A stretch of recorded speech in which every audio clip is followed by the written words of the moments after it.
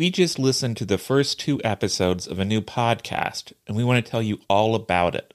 The show is called Nobody Should Believe Me, and it's a groundbreaking investigation into Munchausen by proxy. Anyone who listens to Murder Sheet knows we really appreciate a deep dive into a subject. Well, no one has ever done anything of this depth and breadth on the topic before. You will be enthralled by the stories it tells, but even more importantly, you will learn a great deal about how to keep kids in your community safe from harm. But what makes this show different is that the host of the podcast, novelist Andrea Dunlop, has a uniquely personal connection to this subject. Someone close to her was investigated for Munchausen by proxy a while ago. So to her, this is not just something that happens to other people. Her personal story really gives this show an emotional punch. It also means she really makes an effort to get at the humanity of all of the people involved, all the victims and survivors. This isn't a podcast that focuses on the gruesome details. It has heart. Andrea really uses her storytelling skills to help us get to know the wide variety of people whose lives have been affected by Munchausen by proxy. New episodes drop every Thursday. Listen and subscribe to Nobody Should Believe Me on Apple Podcasts or wherever you listen to podcasts.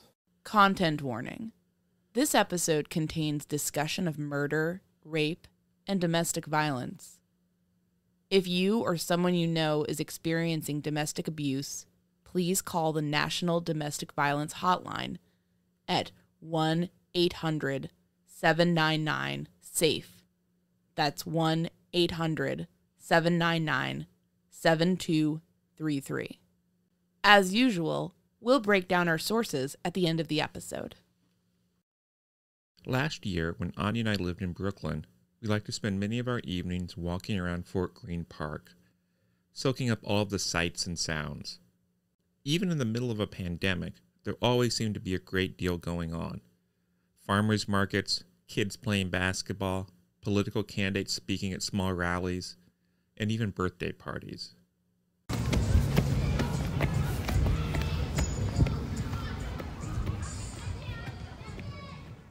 One of our favorite spots was a towering 149 foot granite column that overshadowed everything else in the park.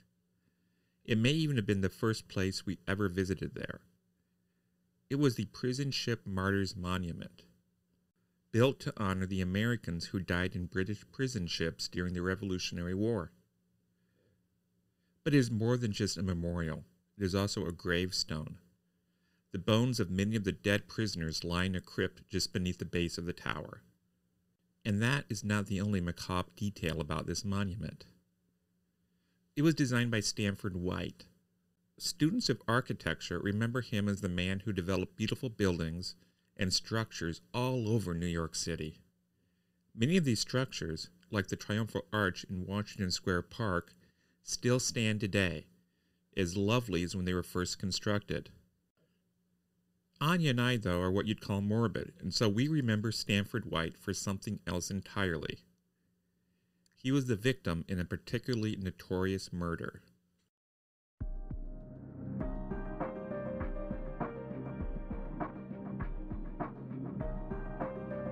My name is Áine Cain. And I'm Kevin Greenlee. And this is The Murder Sheet, a weekly true crime podcast. Áine and I connected over the Burger Chef murders, a 1978 unsolved case involving the killings of four young restaurant employees. Now we're looking to track restaurant homicides. To help us understand the patterns of these crimes, we created a spreadsheet of nearly a thousand eatery related killings, the murder sheet. We'll be drawing on that data throughout season one to give you a deep dive into undercovered crimes. We don't just rely on skimming the headlines. We dive into these cases to bring you in depth coverage. We're the murder sheet, and this is the crime of the century.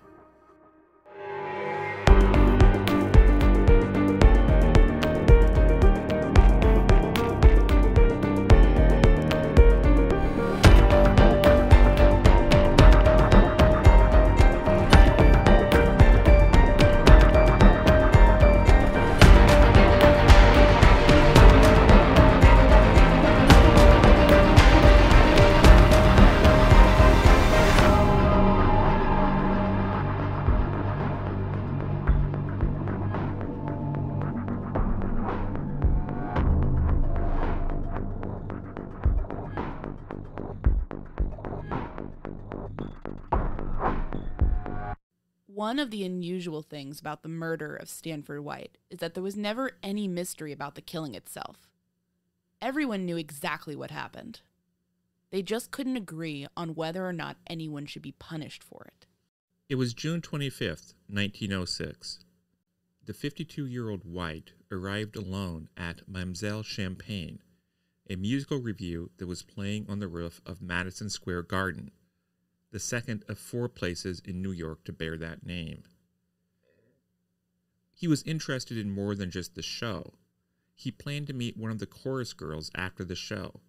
Perhaps he intended to take her to the studio he kept in the venue. White was late.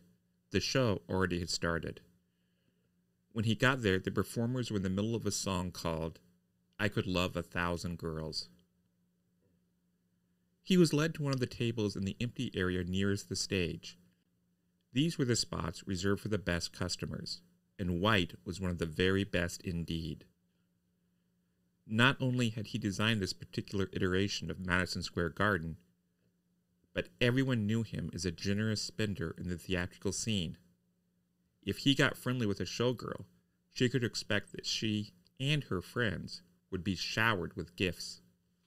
Among the other people in the crowd that night were Harry Thaw and his wife, the former Evelyn Nesbit.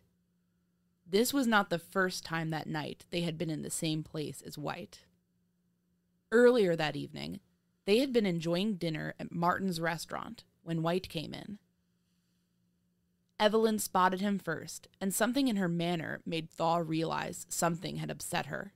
He asked her what was wrong. She did not want to alarm the people near them, so she said nothing was bothering her. But a moment later, she slipped him a note. That B is here, she wrote. To the couple, B meant either blackguard or beast. Thaw knew at once that she was talking about Stanford White. And now the three of them were all here for the show. The dancing girls on stage went into a song and dance routine about fencing. Perhaps that gave the 34 year old Thaw an idea.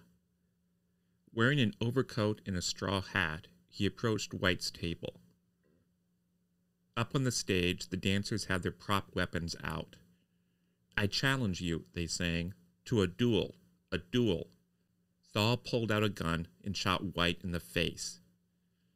He fired three times bang, bang, bang. Thaw emptied the unfired bullets from his gun and held the weapon over his head, presumably so that people would know the shooting was over. At first, the people in the audience seemed to think it was all part of the show, but gradually the truth of what happened began to dawn upon them. A woman screamed. A doctor rushed through the crowd and found White lying on the floor in a pool of blood, his face black with burns from gunpowder. He was, quite obviously, dead. The stage manager jumped on top of a table and started yelling to the shell shocked chorus Go on playing! Bring on the chorus! The orchestra gave it a try and made an effort to keep playing, but the dancing girls who had just witnessed a man get killed in front of them were too stunned to dance. Bowing to the obvious, the manager decided to clear the audience. Thaw, meanwhile, made his way to the side of his wife, Evelyn. Oh, oh, she said, why did you do it? It's all right, dear, he said. I have probably saved your life. Soon afterwards, Thaw handed his gun over to a man in uniform. He deserved it, said the killer. He ruined my wife.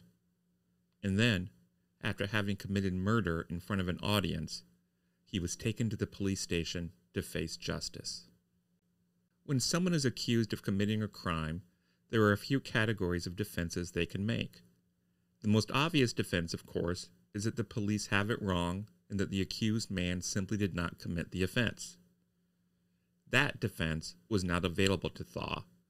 Too many people witnessed him shoot White, and he had freely confessed the act over and over again. Another defense is that the accused man did it, but he can't be held responsible for it because he was mentally ill. This defense was open to Thaw, but he and his family weren't enthusiastic about it. The Thaws were a prominent family that had made a fortune in railroads and banking. His sister had married a man with a title and was now a countess. And so they did not like the idea of publicly proclaiming that one of their own was criminally insane. The remaining defense is that the accused man did indeed commit the crime, but he had a really, really good reason. In most instances, this means self defense. The accused had to kill in order to save his own life. That would not work in this case, but there were other variations that might. And so Thaw and his attorneys decided to go this route to suggest that Thaw had a right to kill White because of the so called unwritten law, which gives a husband the right to kill men who have wronged their wives. This could even be linked back to the insanity defense. They could claim that Thaw was perfectly sane before and after the murder, but when he saw White, Thaw was so enraged by the memory of what White had done that he became temporarily insane, just for the moment or two it took to kill.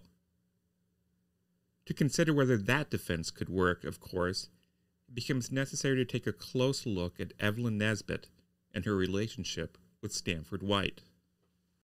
In the mid 1890s, when Evelyn was around 10 years old, her father died, leaving her mother alone to care for Evelyn and her younger brother. 19th century America offered few economic opportunities or options for women. Evelyn's mother tried to make a living making dresses or working in department stores, but soon had to rely on charity. Not having enough money changes a person. When you do not know if you will have enough money to pay your rent or put food on the table, that soon becomes all you think about.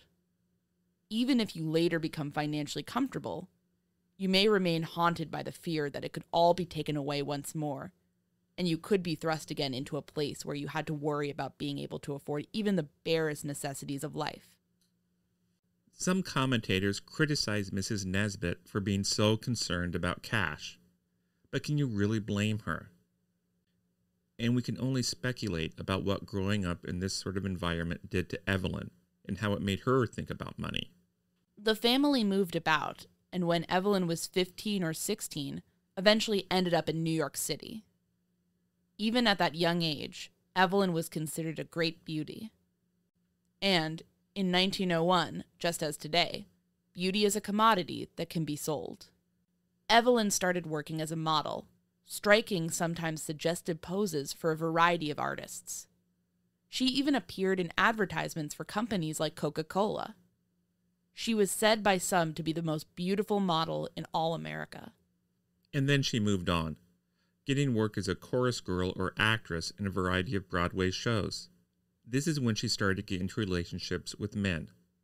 An early favorite was the famous actor John Barrymore. The two spent quite a bit of time together, and he's even said to have proposed to her. But Evelyn's mother opposed the marriage. She didn't think the actor had enough money. The ones with the real money were the producers. She began seeing the producer George Lederer, the couple became close enough that Lederer's wife named Evelyn in her divorce suit. But then she met Stanford White. The famous architect had a reputation that had nothing to do with the buildings he designed. Author Frederick Collins quoted a chorus girl who explained it all. Most chorus girls considered it a great feather in their cap to be seen with Stanford White. He was generous to an extreme. If he had a pet in a show, she could entertain the entire company at his expense. He paid doctor's bills for chorus girls he never saw. He paid hundreds of dollars for cabs for girls and their friends. Every girl knew what his attentions meant, and most of us would give a year's salary to get those attentions. On one occasion, he gave a little dinner to a lot of girls, each of whom found a $20 gold piece under a box of candy at her plate. There was not a girl there who did not know what delicate hint was hidden in that gold piece, by which they were given to understand that things would become pretty lively before the night was over, and that anyone who did not care to contribute her share might leave her $20 gold piece and go. Those who stayed did so because they wanted to stay. This man, who clearly expected something in return for his generosity, was now interested in Evelyn. It was a potentially dangerous situation to be in. A friend took her to White's studio in August 1901. She would later describe the encounter in court testimony. The room was very gorgeous. It was all hung in velvet, and there were velvet divans and pillows everywhere. And this man was very big, and I thought very ugly. We went up two flights of stairs and got into another room, and in this room was a red velvet swing. And Mr. White would put us in the swing, and we would swing up to the ceiling. He would push us. There was a big Japanese umbrella on the ceiling, so when he would push us, he pushed us so our feet would crash through. The image of the grown, mature White pushing Evelyn, who was in her mid teens, on a swing seems quaint and almost wholesome, but it did not last. In her court testimony, Evelyn described what happened on an occasion not long after, a time when she had dinner with White at his apartment. The meal was fine. The trouble started when they were finished eating. Mr. White asked me to come and see the back room, which was a bedroom, and I sat down at a table, a tiny little table. There was a bottle of champagne, a small bottle, and one glass. Mr. White picked up the bottle and outed the glass full of champagne. He came to me and told me to finish my champagne. I didn't care much for it. He insisted that I drink this glass of champagne, which I did. It was bitter and funny tasting, and I don't know whether it was a minute or two minutes after, but a pounding began in my ears, a pounding and pounding.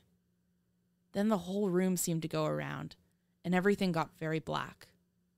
When I woke up, all my clothes were pulled off me, and I was in bed. I sat up in bed and started to scream. Mr. White was there. He came over and asked me to please keep quiet. It's all over now. She had been raped. After this, she continued to see White and be friendly with him, although she never allowed herself to be put in that sort of helpless situation ever again. He told me that he wanted me. He told me over and over again. He always wanted me to come back to the bedroom. I said that I would never do so. Some would be skeptical of her story. They said if she was truly raped, she would not have continued to have such cordial relations with him. But then, as now, women who have been assaulted by powerful men sometimes face economic and other pressures to continue to maintain ties with their rapists. White showered Evelyn's mother with gifts and even sent her brother to school and paid the hospital expenses of one of Evelyn's friends. All of that would have gone away had she turned him in for what he did. So she stayed silent and kept him in her life, and the flow of gifts and security continued. Then she met the wealthy Henry Thaw, a man in his mid 30s who looked much younger. Thaw had nothing like the accomplishments of a Stanford White. He had gotten his money via inheritance. But like White, Thaw had a reputation that went beyond merely having riches. He came from Pittsburgh, which, for some, was already a mark against him. The city suffered from a poor reputation in those days. One young Pittsburgh millionaire married his mother's French maid. Another divorced his wife after accusing her of having an affair with her coachman.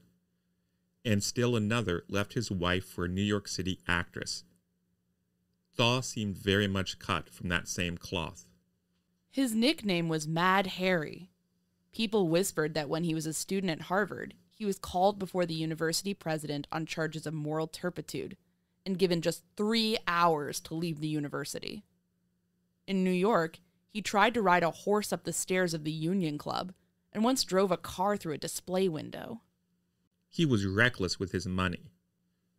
On one occasion, he lost $40,000 in a poker game. That would be the equivalent of $1.3 million today. He threw lavish dinners. At one, the guests were a hundred ladies of the stage, and as part of the meal, each of them were given jewels valued at seven to eight hundred dollars. That is the equivalent of over twenty thousand dollars today. There was still a darker side to Thaw. He liked to whip girls and boys. Ethel Thomas filed suit against him for an incident that happened in 1902. She described to the court what happened. At first, he lavished much affection on me. One day, however, we were walking and he stopped at a store and bought a dog whip. I asked him what that was for, and he replied laughingly, That's for you, dear. I thought he was joking. But no sooner were we in the apartment than his entire demeanor changed. A wild expression came into his eyes, and he seized me and with his whip beat me until my clothes hung in tatters. And that was just the tip of the iceberg. A madam named Susie Merrill testified that she maintained premises that Thaw used to whip girls. According to Merrill, she helped facilitate the payment of $40,000 to 233 girls that Thaw had whipped. Thaw got interested in Evelyn after he saw her in a show.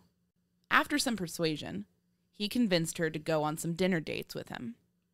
He reminisced about these early days in his memoir, The Traitor. I don't remember all. She liked my wrists and hands. I was wrong, for I said my wrists should be thicker, and she said she was sorry as she liked mine, but she agreed with me. I did not know then that mine were strong, no matter if extremely muscular, and additional bones heavier than mine were useless. Thaw and Evelyn ended up taking a couple of rather eventful trips to Europe. When they were in Paris, Thaw proposed marriage to the young Evelyn. She refused, telling him that she couldn't marry him because of what Stanford White had done to her. But the trip continued. For a short time, the two were separated, Thaw going to London while Evelyn was occupied elsewhere. Thaw recalled Evelyn wanted to write me twice each day, but in answering, I asked for six letters a day, which wasn't bad. I got the six. The couple reunited, and then something happened, which Evelyn later described in an affidavit. After breakfast, Thaw said he wished to tell me something and asked me to step into my bedroom. I entered the room when Thaw, without any provocation, grasped me by the throat and tore the bathrobe from my body. I saw by his face that Thaw was in a terrific, excited condition and was terrorized. His eyes were glaring, and he had in his right hand a cowhide whip. He seized hold of me and threw me on the bed. I was powerless and attempted to scream, but Thaw placed his fingers in my mouth and tried to choke me. He then, without any provocation and without the slightest reason, began to inflict on me several severe and violent blows with the cowhide whip. So brutally did he assault me that my skin was cut and bruised. I besought him to desist, but he refused. I was so excited that I shouted and cried. He stopped every minute or so to rest and then renewed his attack upon me, which he continued for about seven minutes. He acted like a demented man. I was absolutely in fear for my life.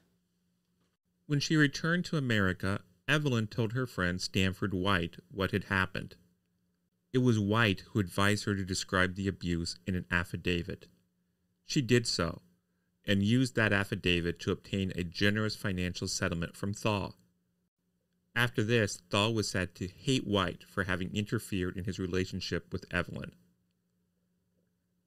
The young Evelyn, however, would later write even more details about what Thaw was like.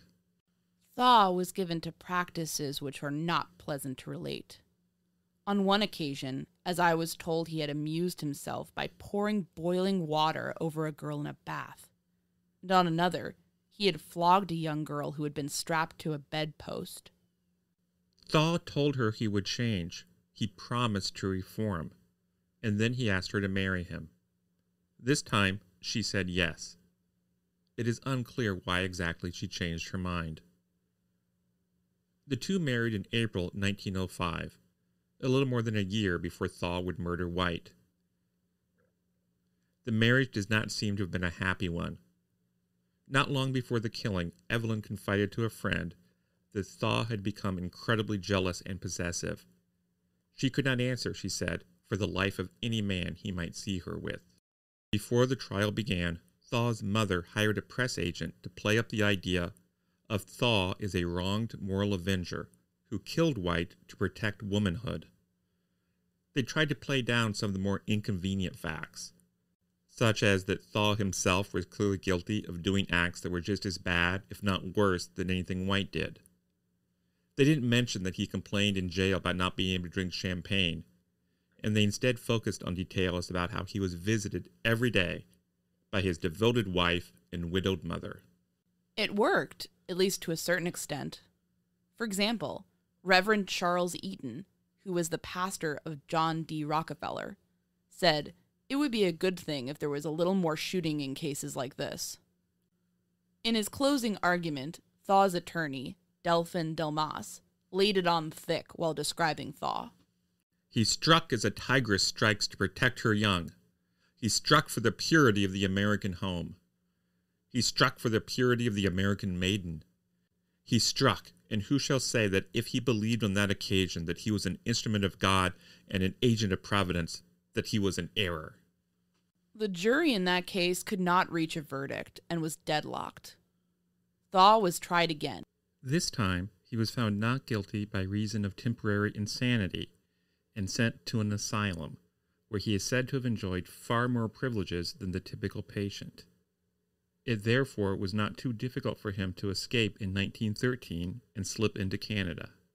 He shortly thereafter returned to the United States and was declared in a new trial to no longer be insane. He was set free in 1915, but he was not out for long. In 1916, he lured a 19 year old named Frederick Gump to a hotel room by offering to pay for the young man's education.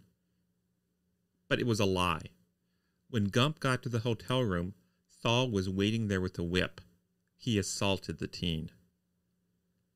Thaw was charged with kidnapping and beating Gump, and once again was sent to an asylum. He remained there until 1924. He ultimately died in 1947, leaving behind an estate that would be valued at over 12 million in 2021 dollars. Evelyn got some financial support from the Thaw family during the trials, but they cut her off afterwards. She and Thaw got divorced in 1915. To support herself, she married a vaudeville dancer named Jack Clifford, and they worked up a stage act. But it didn't work out. People say he didn't like being known as Mr. Evelyn Nesbit. Clifford soon left her. Evelyn tried to support herself by operating a speakeasy. Those who knew her claimed she struggled with alcoholism and morphine addiction.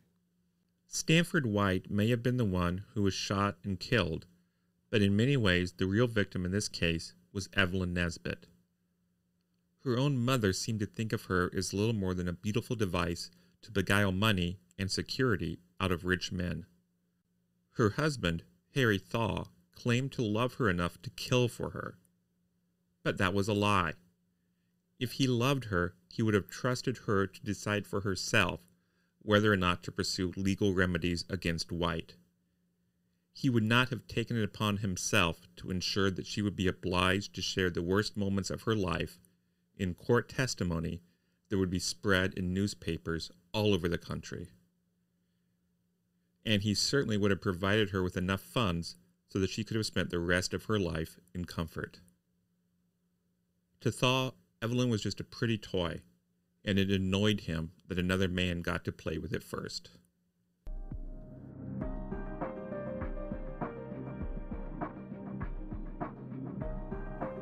In researching this episode, we looked up old articles on newspapers.com, but the biggest help was three books. The first was Glamorous Sinners by Frederick Collins. This volume, published in the 1930s when memories were fresh, is full of color and memorable details and quotes from the press. It is a lot of fun. We also consulted The Murder of Stanford White by Gerald Langford. The title of the book, as you can tell, is a bit unimaginative, but it is descriptive and tells you exactly what you will get. The book is like that too. It is not as colorful or fun as Collins, but it provides a solid overview of the basic facts of the case. We also lightly dipped into The Traitor by Henry Thaw, which is primarily useful for the glimpses it gives us into Thaw's mind. I collect books on true crime, and I fortunately happen to have each of these titles in my library when we decided to do an episode on this case. And remember, if you or someone you know is experiencing domestic abuse, please call the National Domestic Violence Hotline at 1 800 799 SAFE.